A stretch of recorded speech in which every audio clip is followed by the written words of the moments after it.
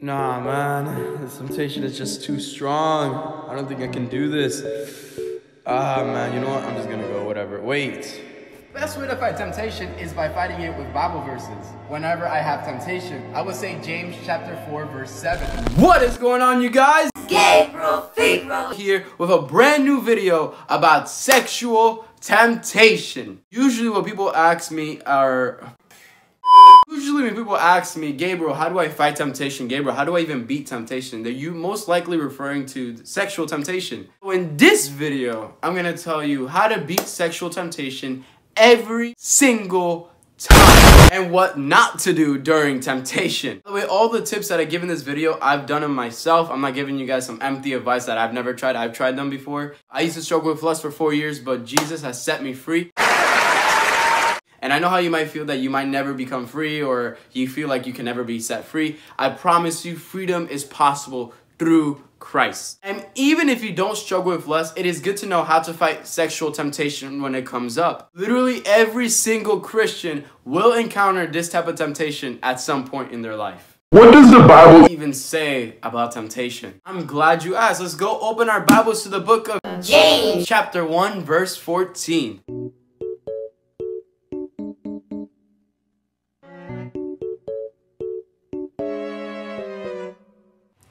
Let's go. But each one is tempted when he is drawn away by his own desires and enticed. Entice in the Greek meaning means to lure, like a bait, pretty much. Think of it like this. The devil is out there fishing, right? And you know, he puts that bait on that hook. What he wants you to do is to grab a, little bit. uh, just a little bit off that bait because once you grab a little bit off that bait, you're gonna be stuck in the hook and he's gonna he got you pretty much. Gabriel, hold up, hold up, hold up. The temptation comes from God. Nope. In the verse above, verse 13, it says, Let no one say when he is tempted, I am tempted by God. For God cannot be tempted by evil, nor does he, he himself tempt anyone. That's why in 1 Corinthians chapter 6, verse 18, it says to flee. To run away. Actually, let's go there right now. Let's go grab your Bibles and go to 1 Corinthians chapter 6, verse 18.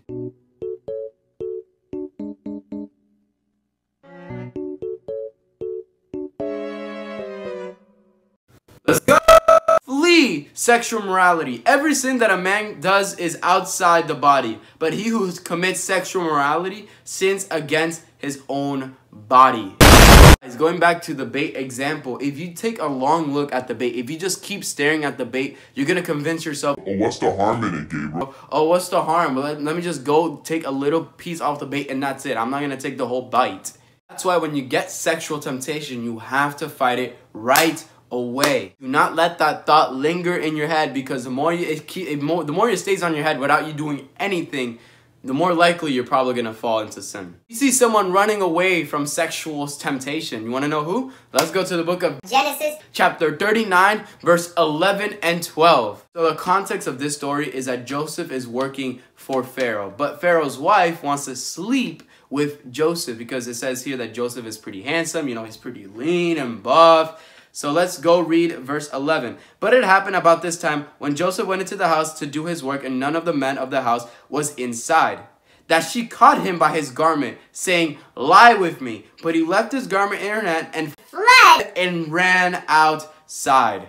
Man literally ran away. He took the verse literally because the verse is meant to be taken literally to run away from sexual immorality. We should all take example from what Joseph actually did in that situation. You are in a relationship.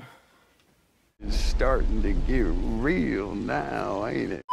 If you are in a relationship and you're getting tempted, do not stay there. Get up and flee from the temptation. Run away. Do something. Be like, hey, Hey, babe, let's go outside. Do say something. Get out of that situation. If Joseph even doubted himself, even for five seconds, of whether or not he should run, he probably would have fallen into temptation. By him falling into temptation, it probably would have gotten him killed. Don't make the excuse of saying, oh, Gabriel, I can handle it. you can't handle it. I can't handle it. Guys, remember the Bible again. I'm gonna keep saying it over and over and over again, so you can make, so you can literally understand. The Bible says to flee from sexual morality. We shouldn't be messing with that in the first place. Hey, Gabriel, I understand to run away from temptation, but what do I do if I can't? Or what can I do while running from temptation? Pay attention to this because this is the key to actually winning and fighting your temptation. Go back to the Bible and let's go to the book of Matthew chapter 4 verse 10. Context here is that Jesus was actually facing temptation from Satan himself. So this is what Jesus did. Then Jesus said to him, Away with you, Satan, for it is written, You shall worship the Lord your God, and him only you shall serve. Jesus set the example for us Christians to follow. So if Jesus used Bible verses to fight temptation, We're gonna use Bible verses to fight temptation. I want you to take out a piece of paper and a pen, and I want you to write these verses down because these are verses that you guys can use to fight sexual temptations. First one is 1 Corinthians chapter 6 verse 18. The second one is Job chapter 31 verse 1. The third one is 2 Timothy chapter 2 verse 22. One that I personally use is James chapter 4 verse 7 and then the last one is Galatians chapter 5 verse 16. You need to have at least more than one of these verses memorized so when Temptation hits. you can find it right away. Because in Hebrews chapter 4 verse 12 says, For the word of God is living and powerful and sharper than a two-edged sword, piercing even through the division of soul and spirit and of joints and marrow, and is a discerner of the thoughts and intents of the heart. Rush to dust and start using your weapon. Here are some things that you should Not. do during temptation. The first one is pretty obvious. Do not make a movie out of your temptation. Let's say this again. Do not make a movie. Out of your temptation. For example, do not actually see yourself actually go committing and falling into sin. What are you doing? Stop. Another thing that you should not do is just do nothing. Oh my goodness, guys. I know, I know, I know. But you guys have to understand if you keep letting that thought linger in your head, you're going to lose, you're going to fall into temptation. The point that I'm trying to stress is that don't fight the devil with your bare hands because he'll knock you out faster than Jake Paul with Ben Askren. God gave us a weapon.